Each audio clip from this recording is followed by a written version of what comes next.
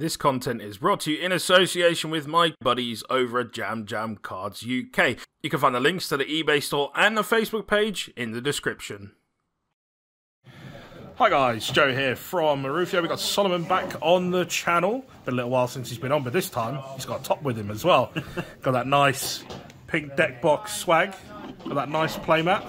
What more could you need? So, where did you play? What did you finish? What were you playing? All that. Uh, it was Ash, Ashfield Regional. I came third, and I was playing Flundereeze. Flundereeze. Pretty good deck at the moment. Yeah, it, it's it's just nice to play a deck that doesn't like auto lose this to like base and stuff because they'll Cyclock you, and then you're like, oh, normal summon. Yeah. Uh, do not care about your size. Yeah, fair enough. Okay, so before we get stuck in, guys, if you're looking for any Yu-Gi-Oh singles, check out channel sponsors Jam Jam Cards UK. Link in the description. Use the code RUFIOH15 for 15% off. Shall we get stuck into the deck profile? Um, so, so I played uh, Free Robin. Um, you need to play Free Robin. It just searches all the low-level wing beasts. Free Eagle searches the high-level ones. Uh, you have to play three of both of them, or you're just not playing Flundereeze right.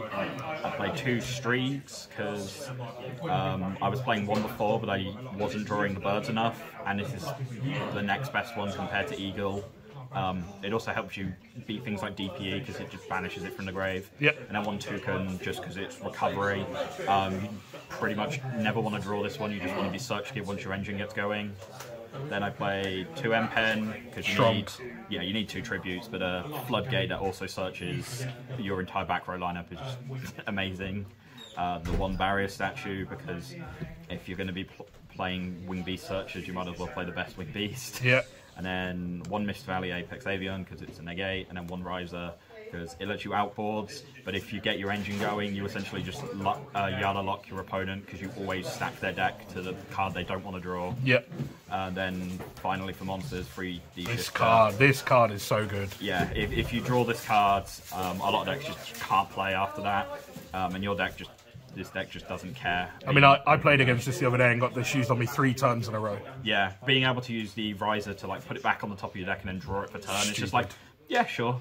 Uh, then spells, I played three of the map.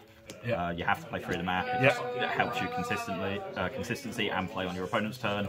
Free Advent for dodging cards, but also uh, dodging like Imp Unveiler, but searching Field Spell and other flunders.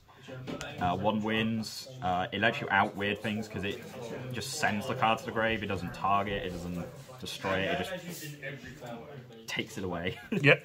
Uh, then I played free prosperity because it, it just digs for cards. And free duality because it digs, and you almost never special summon in this deck. Yep. They're both really good. You could play extra, but um, prosperity is better. Uh, Book of Moon because again it helps you push through um, targeting negation, but also it's a good interruption. And then going second, you can just use it to immediately bait something out, and then just normal a bird. Yep. And then free Dark Ruler uh, because you don't give a, you don't care about like scythe lock and anything, so you just negate the board and then just start normal summoning. Yep. One terraforming uh, to get to the field spell. One mystic mine because you're playing terraforming and You got to play it in gold to really annoy your opponent yeah. as well. Um, if you're gonna tilt someone, tilt them in, in gold. um, but some you just win the game sometimes by playing that. One call by to Yeah. play through things. One duster because I wanted something to deal with back row, and then the one dreaming town because you have to play it. But um, it's just good, just a normal summon that also book of eclipses. It's pretty good. Uh, then the extra deck, which was mostly irrelevant.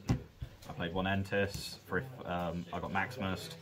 Um, Enforcer for the Reaper Cherries.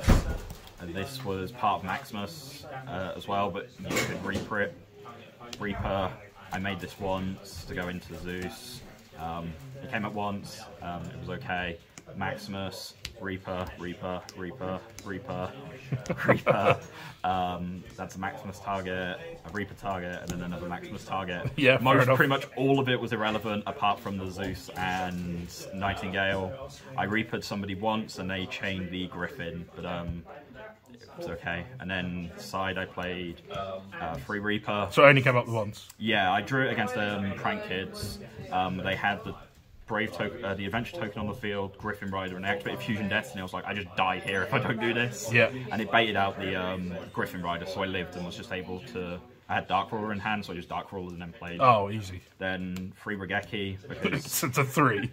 yeah, this deck struggles to break boards, and a lot of people are summoning stuff in defense, so you just wipe the board and then just keep going. Yep. Uh, two more Mystic Mines, because drawing extra ones is helpful. Uh, triple Twin Twisters. Um, this over Cosmic, because a lot of people are going to side Lance here against you anyway. Yep. So just hitting two back row. Uh, one of the Flundereeze Counter Trap. Um, it's the the theory behind it is that people are going to side things in to beat Empen. So if you side this in, you beat the things that beat Empen. Yeah. Because it just negates the summon, and then they can't special summon anymore for the turn, so it's pretty good. them. And then three of uh, this card. this card. Why this card is not banned. Yeah, it just uh, wipes the field. There was one game where an opponent popped it, and they got a Search Feather Duster on it, and then just cleared their back row next turn. It's pretty cute. Um, I, I lost that game, but I got a Search Feather Duster, so that's what really matters. Priorities in order. Yeah, uh, that's that. Okay, so first of all, congratulations on your first top, I believe. Yes, it is my First top, so well done. Very big well done.